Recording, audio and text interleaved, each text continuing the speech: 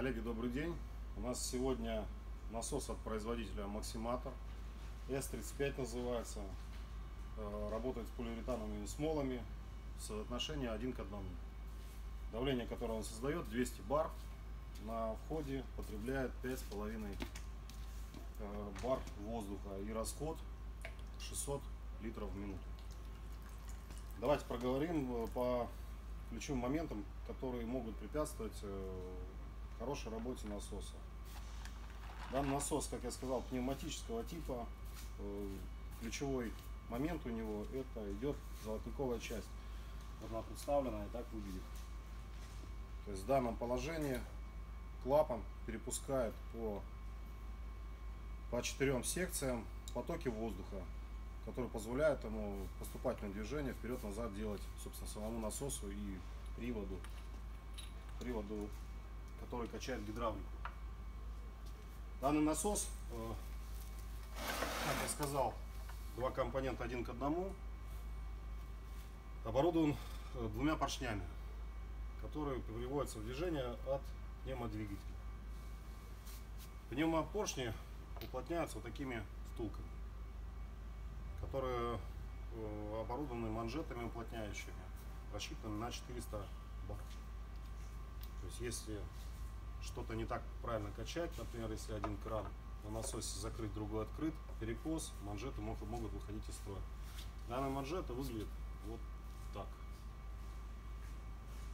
То есть манжет на трение, сальник и манжет, который давление держит. Насос э, получает, получает материал, собственно, из подающих клапанов. Находится не здесь. Выглядит все это дело вот так. Внутри клапана установлен шар, седло клапана и, собственно, пружинка. Все просто. Главное обязательно следить за чистотой. Если что-то засорено, препятствует подаче материала, клапан неплотно закрывается и тем самым давление не будет либо вообще отсутствовать, либо просто вообще подача перестанет. Насос является в принципе надежный, главное обязательно его за ним следить. Промывать каждый, каждый раз после работы. Э, Можно промывать его клинером 230, ну а консервировать гидравликой.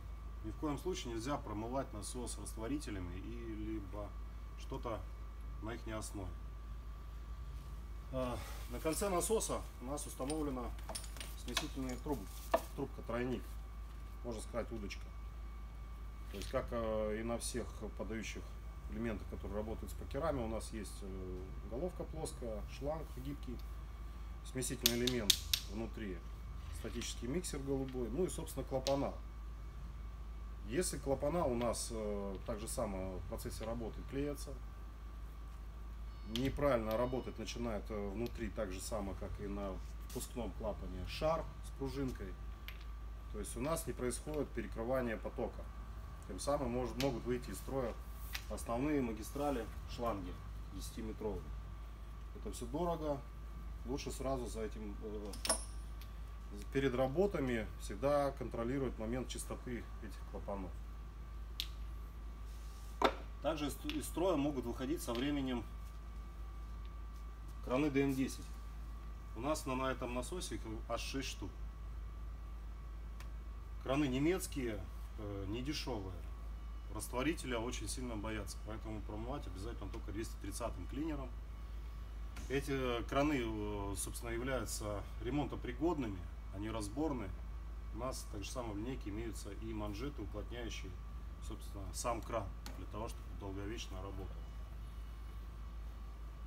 Насос очень привередлив к подаче воздуха. На насосе изначально установлен влагоотделитель, но влагоотделитель довольно быстро выходит из строя. Так как насосы подключаются э, компрессором э, винтового типа и большое количество влаги попадает при большом потоке воздуха. Тем самым фильтрующий элемент забивается, либо просто рвется.